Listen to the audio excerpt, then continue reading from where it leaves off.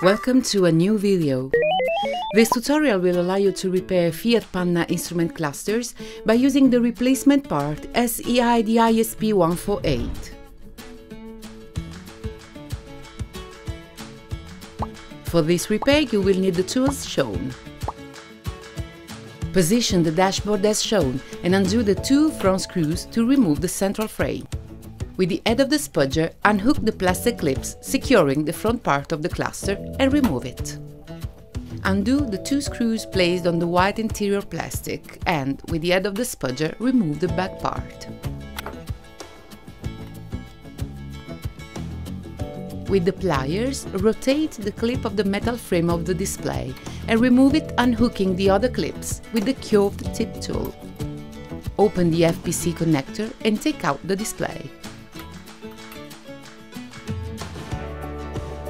Insert then the FPC of the new display in its connector and close it. Then place and secure the new LCD in its base. Reinsert the metal frame and secure it, rotating the back clip. Put back the rear plastic and tighten the two screws to secure it. Reinsert the front part. Tighten the central frame.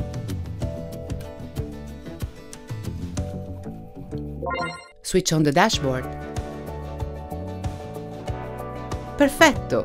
Problem solved!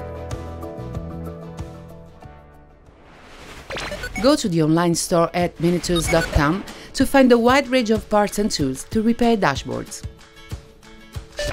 Thank you for choosing Minitools.